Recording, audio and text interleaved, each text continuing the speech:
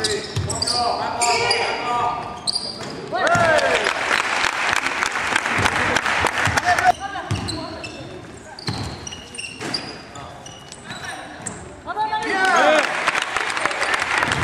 Alors avec moi euh, Geoffrey Mario, donc euh, Geoffrey c'était la première fois que tu entraînais euh, cette équipe FI N3 du, BBC, donc contre Dijon, une grosse équipe.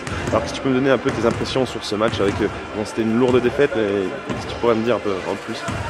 Ben, Moi au premier abord j'étais déjà sur un peu l'observation de l'équipe que j'ai jamais vu jouer cette année. Il y a des joueuses que je connais, d'autres que je connais pas, etc.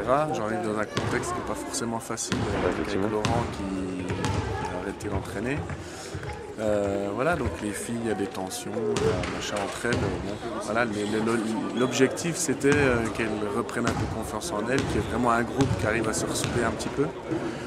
Donc euh, voilà, après au niveau du match, ben, on fait un premier carton catastrophique où on cumule maladresse, donc ce qui fait qu'après ça propose du jeu rapide pour l'équipe adverse qui est qui jouent là-dessus. En plus, c'est un de leurs points forts, donc forcément, bah, ça m'a ouvert. Et puis le Dijon très à droite.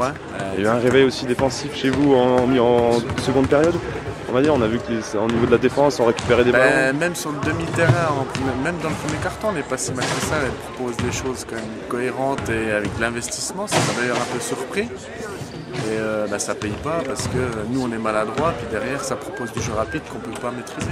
Enfin que là on n'a pas su maîtriser. Puis en deuxième mi-temps on a un peu plus euh, contrôlé ça, on a été un peu plus adroit, donc on est un peu plus dans le repli défensif.